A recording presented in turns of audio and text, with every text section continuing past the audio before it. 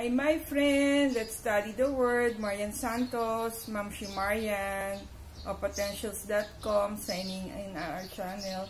So, yung uh, our daily bread today is, or God's word is, Jesus knows why. Yung Bible verse niya is from Matthew 7, verse 28. When Jesus had finished saying these things, the crowd were amazed at his teaching. So, si Allison,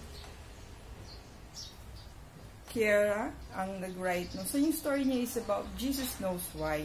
So bakit kaya may mga time na yung healing na binibigay ni Jesus not not uh, complete. So uh, if you remember yung blind one, di ba? Parang yung first time niya na tinouch yung eyes niya, parang sabi niya, I see people dancing. So hindi clear yung kanyang sight, di ba? So kailangan i-touch pa ulit.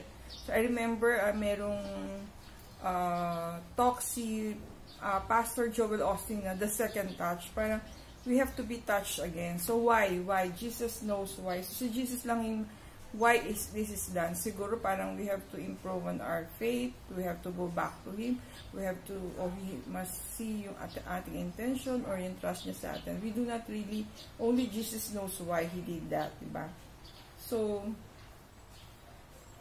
um, You don't know why, but Jesus knows what's the man and the disciples who viewed this healing needed in that moment. So, ano ba yung kailangan nila? More faith, uh, trust. So, so they, they are the one, or Jesus can be the only one to know the answer. And tayo kung sino ba yung involved dun sa miracle na yon. Dear Lord, thank you for knowing us so well and for providing what we need most. Give us eyes to see you and the heart to understand your word. God bless us all. Thank you for watching. Please subscribe and like our video.